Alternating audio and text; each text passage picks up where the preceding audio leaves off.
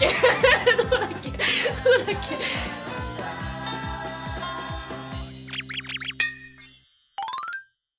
皆さんこんにちは。科学のお姉さんこと五十嵐美希です。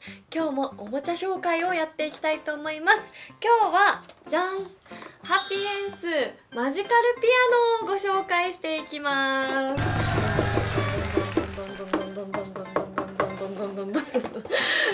実はこのハピエンスのシリーズはですねワークショップでも私扱ったことがありましてその時に子どもたちとすごく盛り上がったのでご紹介していけたらなと思います。それでは一緒にやっていきましょう。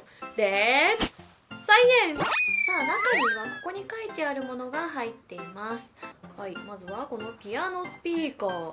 そしてピアノシート。こっちは鉛筆ピアノシート。そしてあとは鉛筆アダプターとマジカルカイロテープあこんな感じのやつね。とキーボードシート両面シール鉛筆1本あと取扱説明書。下のシートにマジカルカイロテープをこのようにベタベタベタと貼っていきます。このように途切れないようにしっかりと貼っていきます。そしてその上にこのキーボードシート裏にもマジカルカイロテープを貼ってキーボードシートを、はい、組み立てました。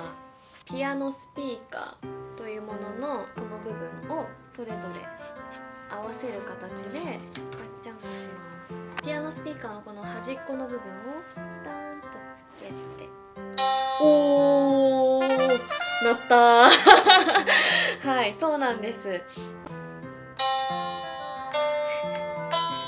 こっちでも音決まっているっていうことですね。音階は決まってるんだけどマジカルカイロテープ。これが要は電気を通すものなので電気が流れる回路電気回路になっていましてこれがくっつくとその回路が完成してこっちの音が出るということです。ねドおお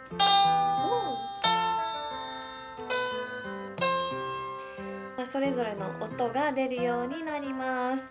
私のワークショップでもこういう、まあ、導電テープを使ったあのワークショップ何個かあるんですけれども、まあ、子どもたちはすごく楽しそうに貼りながらどうやったら電気が通るんだろうとか通らないんだろうっていうことを考えつつ貼れるのでとても楽しくておすすめです。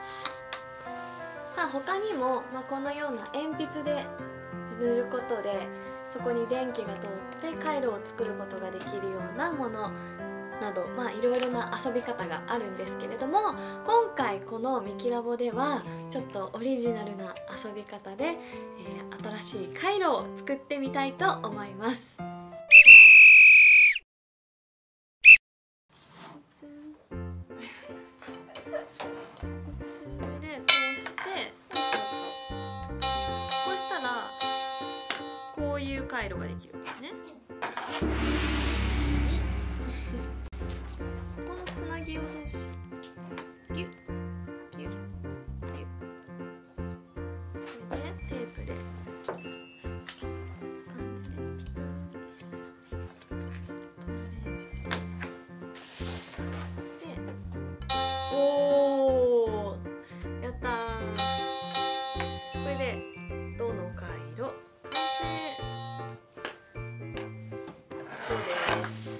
僕どうです。はい次。ハサミう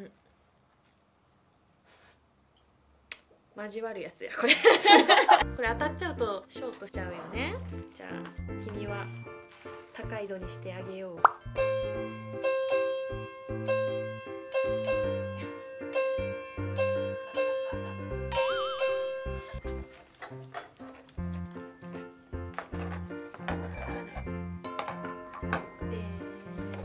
通の音が鳴った。これであそっかハサミを最後にしないと。ハサミ最後にしないと。使えなくなっちゃう。オーマイガーうん？うん？なんで？チェンジ。チェンジ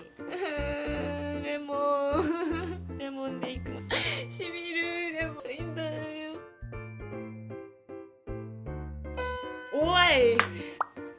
見て見て。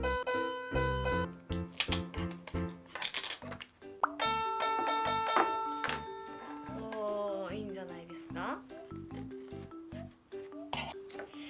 これ何の実験なんだって感じですね。もうなんかいろいろレモンとかポテトとかあるから。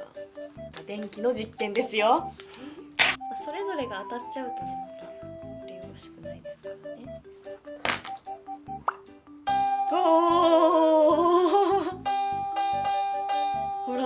ってるということはここで回路ができてるってことがね。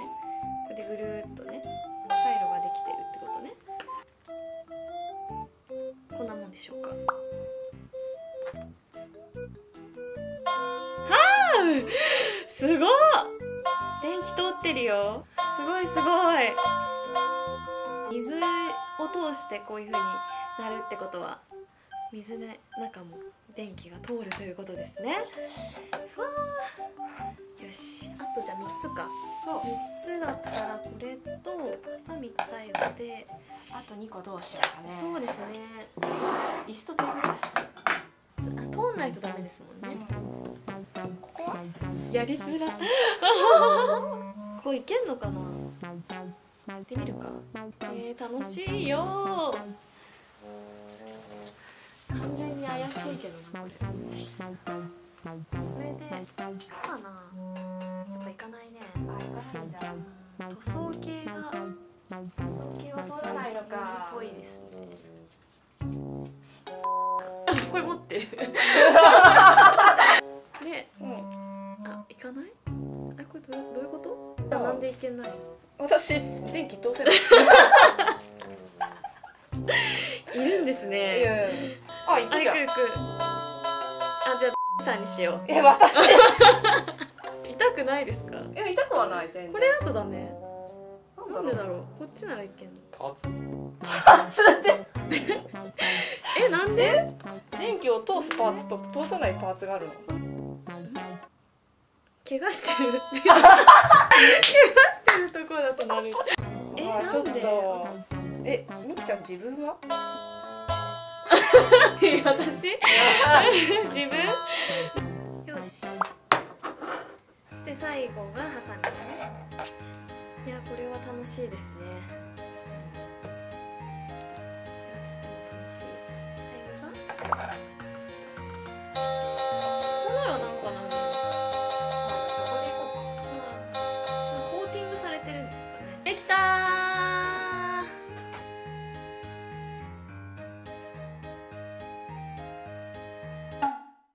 今ここの、まあ、ちょうど電気が流れる部分をこの鉛筆の黒鉛の部分が触れるようにしています。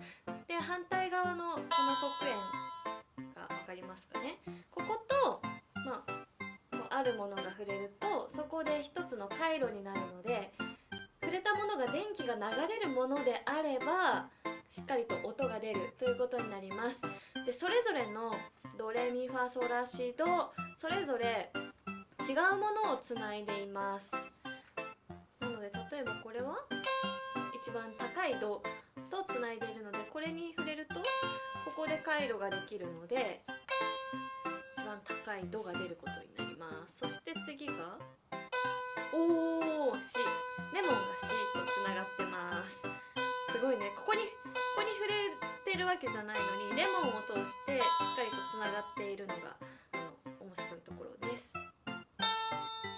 次がフォーク次が？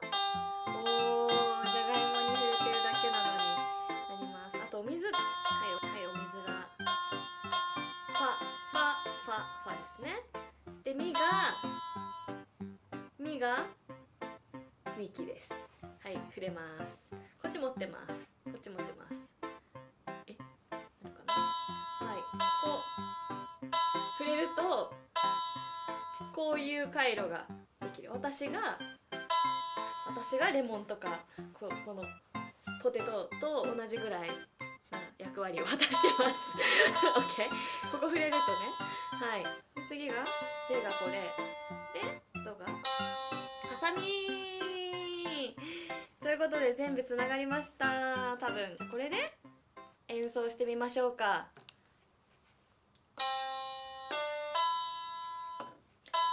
と待って耳が大変耳が耳が大変なんだけど。それでは聞いてください。ドレミの歌。わ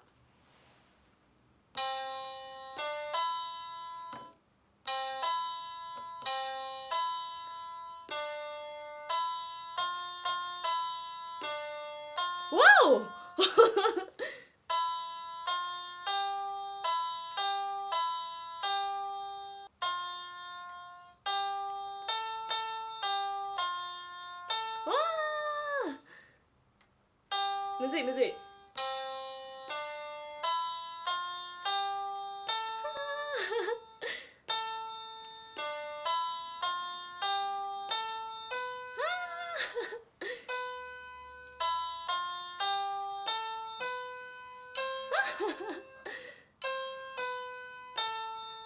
れどこどこだっけ？どこだっけ？どこだっけ？も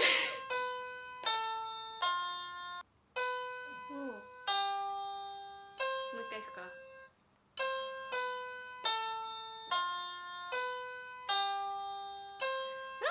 ーできたー！無事になんと演奏できましたこれすごい楽しい。の動線とか準備するのすごい大変だと思うんですけどアルミホイルでこういうふうにつないだだけでできてしまうのでぜひ皆さんもやってみてください。わあこれはすごい本当に楽しかったですね。実際にワークショップでも、まあ、子どもたちがどんなものを電気通すのか通さないのかっていうのを考えながら実際に自分で手を動かすのですごく盛り上がる内容となりました。はい。ということでまた何か面白いおもちゃを見つけましたらこちらの「激ラボキッズ」でご紹介したいと思います。それではまたお会いしましょう。バイバーイ。あ、鼻触ると鼻触 ると音が鳴る。